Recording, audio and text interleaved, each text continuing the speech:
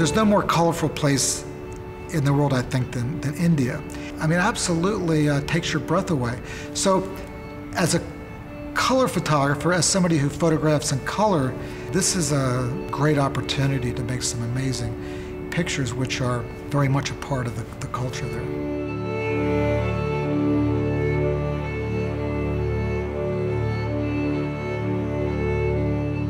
One of the pictures which I think is the most successful in my kind of 30 years of working in India was of a dust storm in Rajasthan. Out of nowhere, this dust storm emerged, and within a matter of seconds, we were engulfed in all of this dust and wind, and the sound was really kind of terrifying. So I'm riding on the road, frantically looking for something to shoot.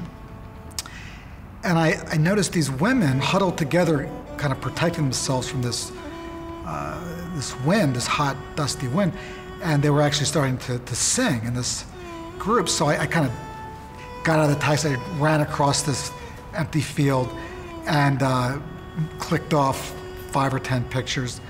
As quickly as the dust storm had come up, it, it, it just passed, and the women stopped uh, singing and, and went back to work. The thing I like about this photograph is that there is a sense of movement. You can see the fabric being blown uh, due to the dust storm.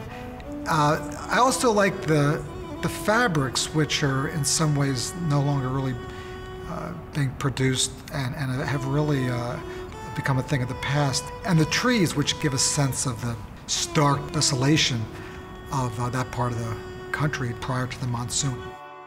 I think the joy of photographing in India is you never quite know what's waiting for you around the next corner.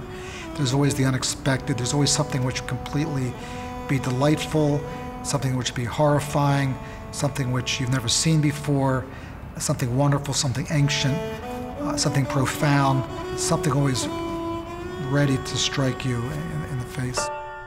I was in a taxi going to my hotel in Bombay when this mother and child came up to my window begging for some money. And I, just out of uh, kind of instinct, raised my camera and made two exposures. And I looked at this picture, I couldn't remember even having taken that image. But it ended up being the, actually the lead picture to the story. And be, we actually used it on the cover of one of my books.